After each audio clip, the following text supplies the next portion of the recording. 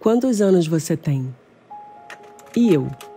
Você faz ideia de quantos anos eu tenho? Há quanto tempo acompanho este país?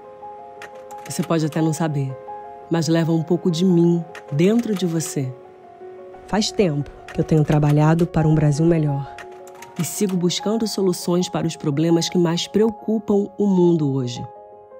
Nasci em 1900, quando o Brasil vivia uma emergência sanitária. Talvez você não faça ideia do quanto eu mudei desde aquela época mas mantenho firmes meus valores até hoje: ciência em defesa da vida e saúde para todos os brasileiros. Estou presente em todas as regiões do país, sempre pronta a dar respostas rápidas à sociedade.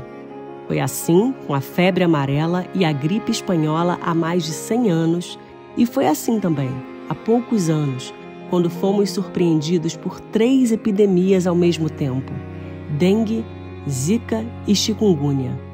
E agora estou diante de um novo desafio: a pandemia de Covid-19.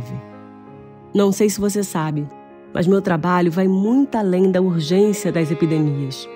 Produzo conhecimento científico, formo pessoas em diversas áreas, fabrico vacinas, remédios e testes de diagnóstico eu também promovo atenção e assistência à saúde, informo a população, preservo a história e o patrimônio da ciência e da saúde do país.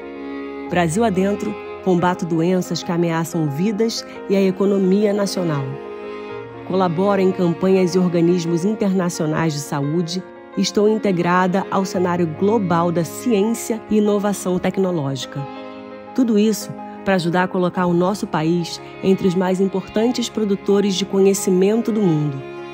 Nesses 120 anos, enfrentei algumas crises, mas também presenciei muitos momentos de solidariedade e alegria. Vi o mundo mudar.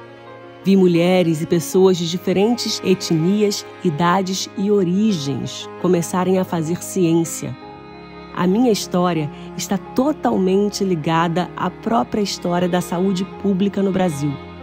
Sou saúde como direito. Ajudei a criar o maior sistema de saúde universal do planeta, o SUS, e com ele sigo contribuindo. Eu sou meus jovens estudantes, meus trabalhadores, colaboradores, pacientes, visitantes, professores, cientistas, sanitaristas e cada uma das crianças que encontrei em todas essas décadas de campanhas de vacinação. Minhas portas estão sempre abertas a todos os brasileiros que queiram saber mais sobre ciência e saúde. Estou me preparando para os desafios do futuro, do Brasil e do planeta, em defesa da sustentabilidade ambiental e, é claro, da vida. Eu já disse meu nome? Eu sou a Fio Cruz.